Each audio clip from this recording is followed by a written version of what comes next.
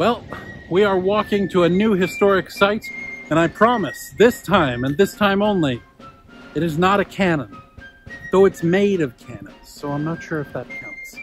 We are here in St. James's Park in London, and we are on our way to Waterloo Place.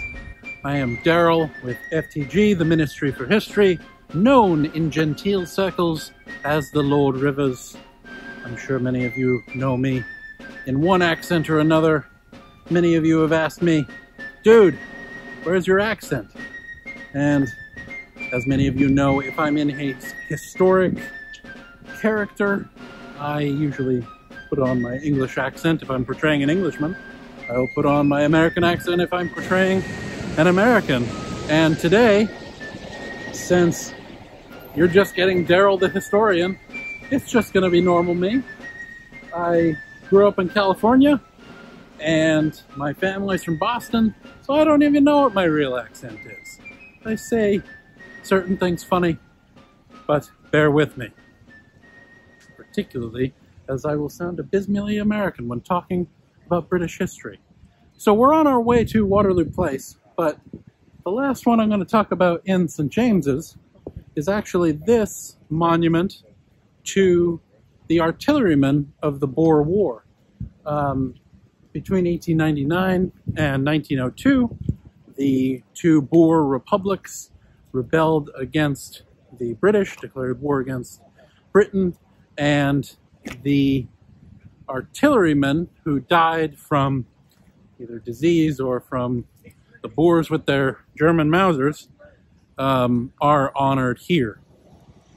And so that's just an interesting little tidbit that isn't quite Waterloo Place, but we're going to do it while we're on our way there. Shockingly, no one told me, it is wet and rainy and windy in England. Who knew? So we'll see if any of this audio survives.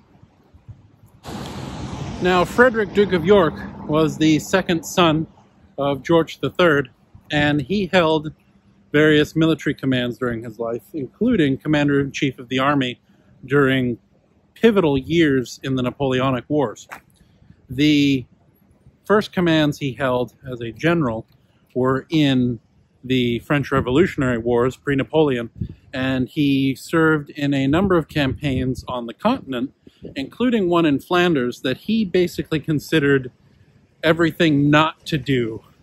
Um, he, he considered his experiences, few as they were, as pivotal for understanding what needed to be reformed in the British Army.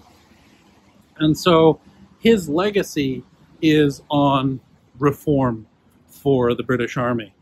And you can see he has quite a big column here. It was resented at the time, though, because although he did quite a bit for uh, British the British military, and I believe he set up people like Wellington for success. I believe a lot of his reforms were absolutely necessary to the success of the Peninsular Campaign um, and a number of others. Um, but his monument was resented because although there were attempts to raise money in Parliament and there were attempts to raise money from uh, people all over the country, when they couldn't find the money, they just docked the soldiers' pay. And throughout the army, there were stoppages for the Duke of York's column. And um, that didn't go over particularly well among the common soldiers, particularly when the Duke of York was resented because he didn't particularly get his commands based off of merit. It was because he was the king's son.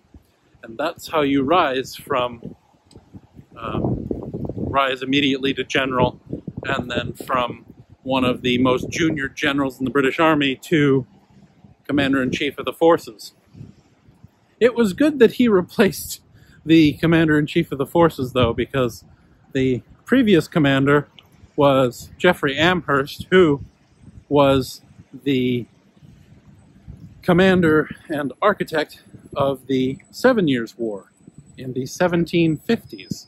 So needing a little bit of an update. So yes, this is the grand old Duke of York who had 10,000 men and marched them up to the top of the hill and marched them down again.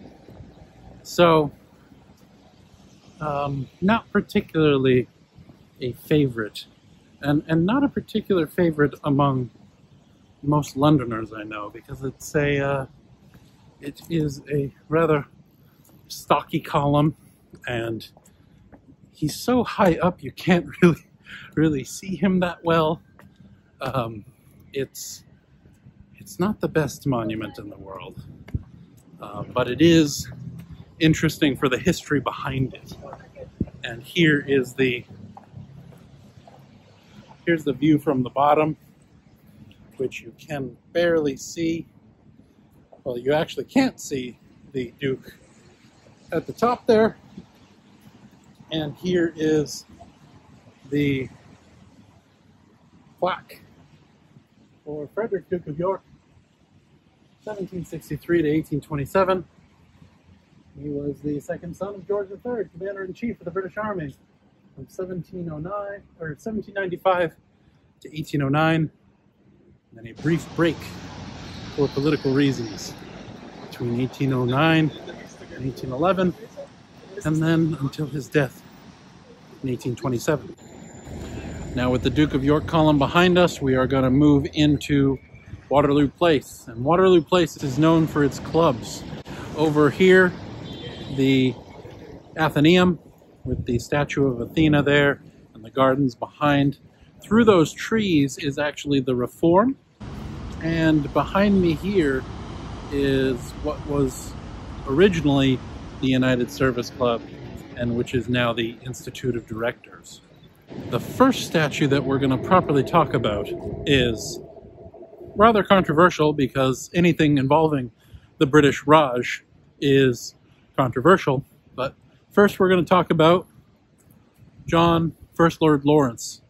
And Lawrence is interesting to me because he played a role in the Indian Rebellion in 1857 and was eventually made Viceroy of India. But he's an interesting figure because he's one of the only people that comes out of um, the Indian Rebellion with his reputation intact because he was key in keeping the Punjab on on side on the British side um, during the rebellion. Now the rebellion begins with the Sepoy Mutiny, um, during the the spark for which and we've talked about this ad nauseum before on this channel. If you've listened to um, any of Brett and I's deep dives on musketry, but cartridges were issued for the new rifle muskets that were greased. And that grease was rumored to have pork or beef tallow, um, either of which being um, offensive to Muslims and Hindus, respectively.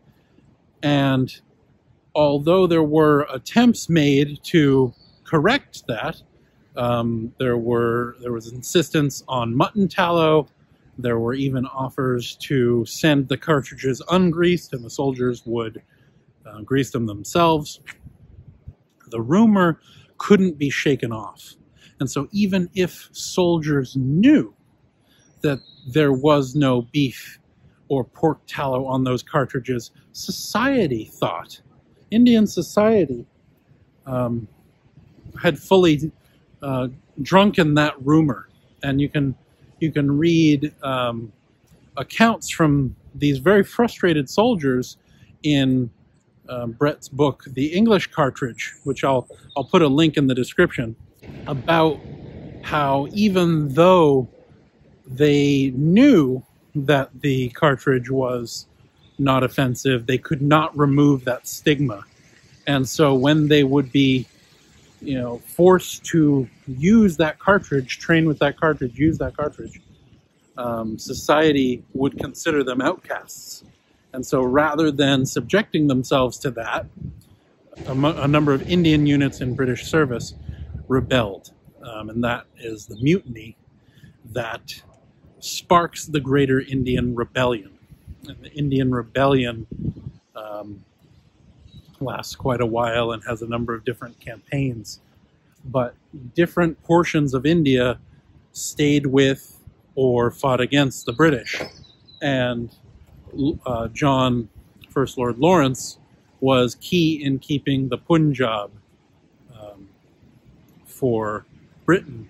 And for anyone really interested in a deep dive on the Raj, I highly recommend um, The Anarchy by uh, Dalrymple. Uh, it's a new uh, perspective, a new scholarship on uh, the Raj, particularly in the early history of the East India Company. Um, the other figure that's actually right next to him here also is made famous by the Indian Rebellion, but we know him um, on this channel uh, for his service in Crimea. And it is Sir Colin Campbell, also known as the Lord Clyde. So here's Sir Colin Campbell, tiny as he was, up there. And this angry Scotsman was key um, at the Battle of Balaclava, commanding the Highlanders to use their new rifle muskets rather than forming a square, which was the traditional response to cavalry. He knew the new capabilities of the rifle musket were profound, and so he had his men open up at long range and then closer, picking off uh, Russian cavalrymen as they advanced on um, the British troops. And he, he, with infantry, with that thin red line of soldiers, um, halted a um, Russian cavalry attack. And his service continued in the Crimean War. He commanded a division at the attack on the Great Redan, and he also continued his service into the Indian Rebellion, where he relieved the siege of Lucknow and then went on to have to capture Lucknow again. Um, he has a number of battles where he's in command, um, and there's a lot of really uh, interesting paintings showing uh, Colin Campbell in India that I'll put up. Now, the next figure we're going to talk about, I'm going to jump to the other side of the road here, is John Fox Burgoyne. And for my American audience, Burgoyne will ring a bell because uh, Burgoyne, this man's father, uh, was actually uh, the command, the British commander at Saratoga that surrendered. A rather flamboyant figure and um, one of the key figures in the American War of Independence. But John Fox Burgoyne, his son, was made famous during the Crimea, and he is renowned among the Royal Engineers. He was the superintendent of Royal Engineers, and he commanded the engineers in the Crimean War. Now, the engineers are always renowned in military circles, and uh, this was no different in the Crimea. Um, as chief engineer, Burgoyne was a key advisor to Lord Raglan, who was in command. Do you see the Russian army, my lord? Good morning, sir.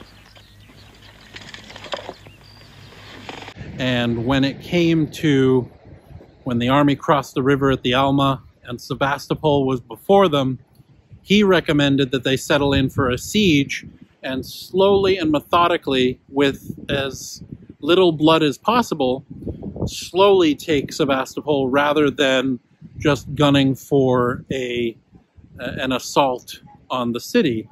Um, it was expected that they would they would take something like 500 casualties, and that was simply too much. Instead, they prolonged the war largely by um, Burgoyne's recommendation, many years and many thousands of lives. I'm always a little saddened by Burgoyne because of um, he and Raglan deciding to go with a prolonged siege in Sebastopol rather than going for the assault. And of course, he becomes pivotal to the um, campaign in Crimea because as they're settling in for the siege, that now becomes the demands of the engineers because miles and miles of trenches needed to be dug, positions for artillery, um, all kinds of siege works over the next uh, two years needed to be used. Now we're going to go across the clubs here and we see the reform behind me through there and a cawing friend of ours in the trees. Now, all the way over here, sidelined like the real historical figure, and another extremely controversial um, ruler of India during the Raj, Lord Curzon. And Lord Curzon was Viceroy of India around the turn of the century. He was Foreign Secretary um, in the 1920s. He was a member of Lloyd George's War Cabinet, a very small circle. Um, he um, had a major series of conflicts with Kitchener. Um, he was such an influential figure in early 20th century British politics, and he was definitely slated to be uh, prime minister in um, the 1920s, but he was sidelined for Stanley Baldwin. And um, he remains a controversial figure not only for his for his policies but for his work as viceroy of India wherein like John Lawrence and like Churchill his mismanagement and the mismanagement of people under his leadership led to the death of millions. And the Indian famine under his rule um, led to between one and five million deaths. So he remains an extremely controversial figure. And for anyone interested in hearing more about him, I'm going to put a few books down in the description. And I think that Waterloo Place for me is just a an ode to sadness and an ode to to the pains that people endure for each other. Not necessarily the pains that are inflicted on people you know the the ravages of war but all of these figures um, endured things for others. And i think that's one of the reasons why i have such an attachment to it, aside from just the Crimean War Memorial. Um, so we are going to go continue on our way. Now, I'm not going to let you down on my promise to make everything a bit melancholy today, because today we are also going to visit Giro, who died in 1934. Ein treuer Begleiter, a true companion. Um, he was the dog of the German ambassador at the time, and uh, everyone calls it the Nazi dog because of that. But uh, the ambassador at the time was not a Nazi and was actually a, an opponent of Hitler's. But Giro, who was his dog, ended up chewing through some electrical wires one day, and he died in London and is buried here and his gravestone is still there. So that's always very sad. Giro, ein treuer Begleiter.